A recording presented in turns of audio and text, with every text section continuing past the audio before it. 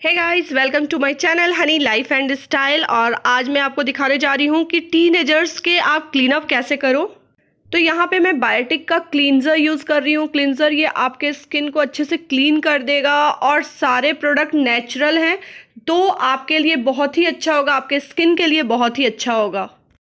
तो फेस को to minute के लिए क्लिनज़र से क्लीन करना है और अच्छे से मसाज करके ये क्लीन कर लीजिएगा तो जितने भी आपके डर्ट पॉल्यूशन होंगे, वो अच्छे से बाहर निकल जाएँगे और आपके स्किन को ये फ्रेश कर देगा और पॉल्यूशन फ्री कर देगा।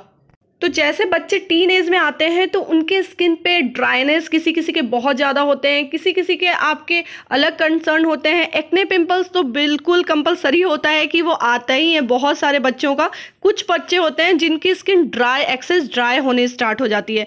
तो उसके लिए आपको अपने स्किन पे पूरा ध्यान देना चाहिए और स्टार्टिंग से ही अगर आप ध्यान दोगे तो आपकी स्किन बहुत ही अच्छी रहेगी। तो ये मैं एमवे का प्रोडक्ट यूज़ कर रही हूँ एटीट्यूड ये बच्चों के लिए बहुत ही अच्छा रहता है टीनेजर्स वालों के लिए बहुत ही बेस्ट है। तो आप इसे ज़रूर यूज़ कर सकते हो।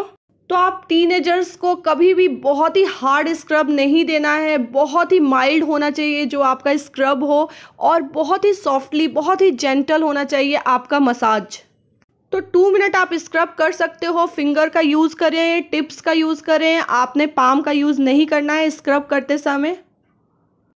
तो मेरे इन क्लाइंट का बहुत ही ज़्यादा वाइट हेड की प्रॉब्लम आ रही है वाइट हेड बहुत ज़्यादा स्किन पे हो रहे हैं।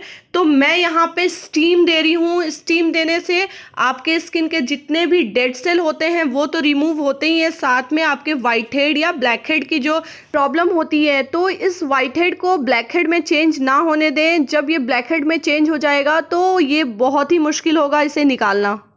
तो ये जो मैं यूज़ कर रही हूँ, ये white head black head remover pin है तो इससे आपने जितने भी आपके वाइट हेड ब्लैक हेड हो रखे हैं, उसे आप इस तरीके से निकाल सकते हो, इसे थोड़ा थोड़ा दबा कर और धीरे से ही मतलब ज़्यादा भी नहीं जोड़ देना है बट हाँ ये थोड़ा सा निकल जाए, अच्छे तरीके से इतना सा दबाव देना है आपको। आई होप आपको विजिबल हो रहा है कि ये देख सकते हैं वाइट हेड कितने सारे निकल रहे हैं इनके वाइट वाइट से तो वो वाइट वाइट से होते हैं, जो बहुत ही ईजिली निकल जाते हैं पिन की हेल्प से।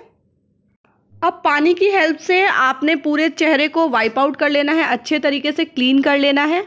तो अब मैं थर्ड प्रोसेस यहाँ पे कर रही हूँ एमवे मसाज क्रीम यूज़ कर रही हूँ एटीट्यूड का है ये।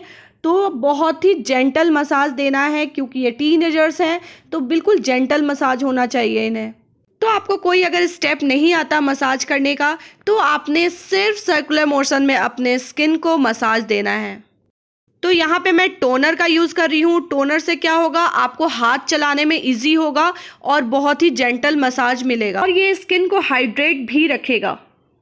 बहुत लोग ये भी सोचते हैं कि इतने कम उम्र में क्या ज़रूरत है इन सब का। बट ये आपके स्किन को क्लियर कर रहा है, आपके स्किन से डर्ट पॉल्यूशन को हटा रहा है कि आगे चलकर आपको वो सारी परेशानी ना हो, वो सारे कंसर्न आपके स्किन पे ना आए, जो आगे चलकर आते हैं। और आपके स्किन अगर क्लियर रहेंगे तो वो हमेशा ही ग्लो करते रहेंगे। तो ऐसे ब्यूटी क्लासेस के लिए मेकअप क्लासेस के लिए और ब्यूटी हॉल के लिए प्लीज़ मेरे चैनल को सब्सक्राइब कर लेना और वीडियो अच्छी लगती है तो जल्दी से लाइक कर देना।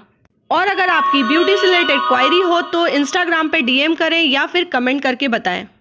तो पानी की हेल्प से अब स्किन को आप वाइप आउट कर लीजिए, अच्छे तरीके से क्लीन कर लीजिए और उसके बाद आपने क्या करना है कि कोई भी टोनर जो भी आप यूज़ करते हो, उस टोनर को अपने पूरे फेस पे अप्लाई कर लेना है और आप चाहो तो मॉइस्चराइज़र भी अप्लाई कर लो। So till then bye bye